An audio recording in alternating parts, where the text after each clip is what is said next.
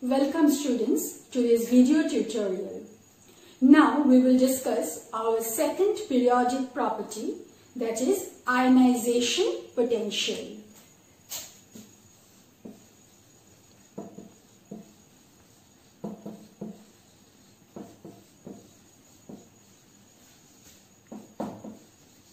How can we define ionization potential? Ionization potential is the amount of energy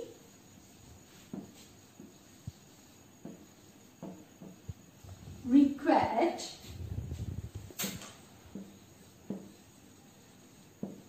to remove the valence electron from an isolated neutral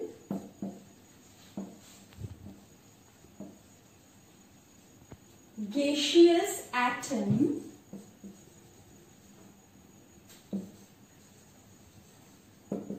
leading to the formation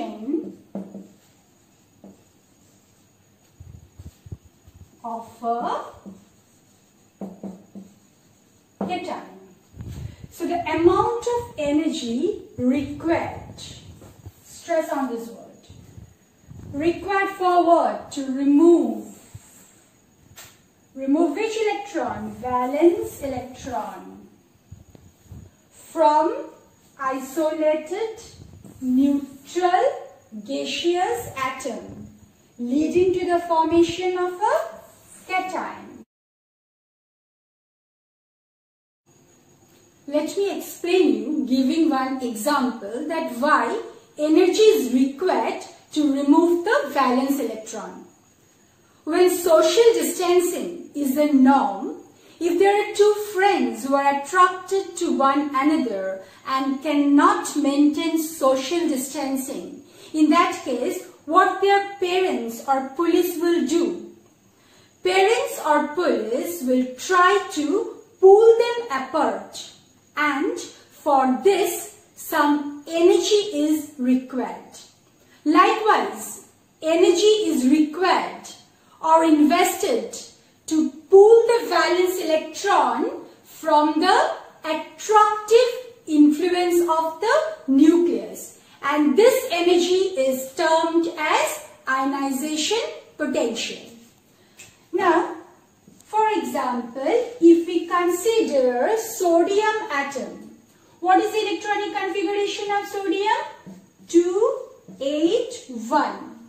Now, if we want to remove this valence electron, what we have to do? We have to supply energy. Why we have to supply energy? Because we have to free this electron from the attractive influence of the nucleus. Now, one electron is removed. For that, you are applying energy and that energy is termed as ionization potential.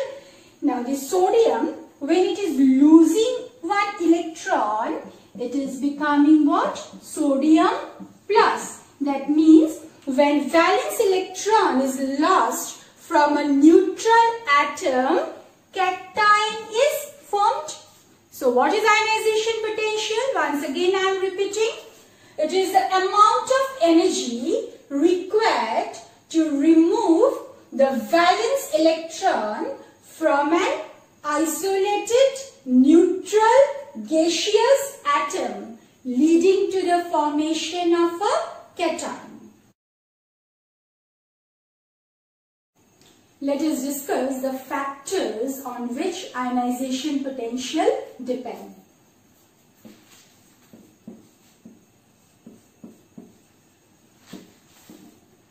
The first factor is atomic size or atomic radius. And the second factor is nuclear charge which is designated as Z. Always remember that if attractive force between the valence electron and the nucleus is more, greater will be the value of ionization potential because in that case we will require more amount of energy to remove the valence electron. So attraction more, ionization potential more. Now the first factor that is atomic radius. Greater the value of atomic radius, lesser will be the attraction. So IP will be less. So ionization potential and atomic radius, they are inversely proportional to each other. So IP is inversely proportional to atomic radius. Let us come to the second factor that is nuclear charge. If nuclear charge is more, then positive charge, that means the attraction of the valence electron from the nucleus will be more. Hence, more will be the value of ionization potential. So, ionization potential and nuclear charge, they are directly proportional to each other. So, IP directly proportional to nuclear charge. So, small size and high nuclear charge favors ionization potential. Trends in ionization potential.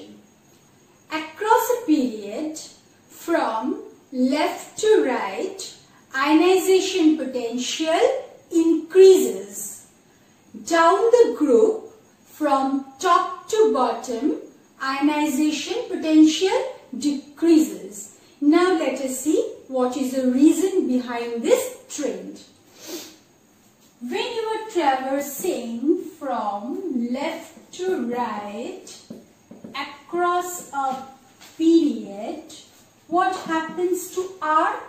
R decreases. And what about nuclear charge? Nuclear charge increases. Just now what we have learned? that IP is inversely proportional to R and IP is directly proportional to Z. Now both these factors are favorable for the increase in ionization potential. So when we travel from left to right across a period, since R decreases and Z increases, so ionization potential will increase. Now, while we travel from top to bottom down a group, IP will decrease. Why? What is the reason for this? While we travel from top to bottom, atomic radius increases and what about Z? Z also increases. Now here again we will have a fight between R and Z. The increase in the value of R will dictate ionization potential to decrease.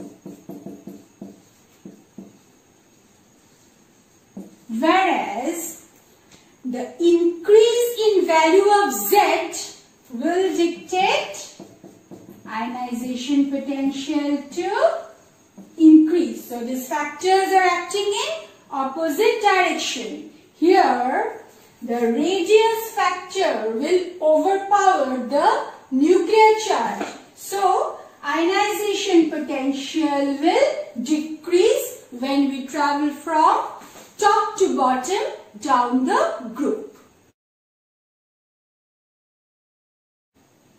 Which group in the periodic table has highest value of ionization potential?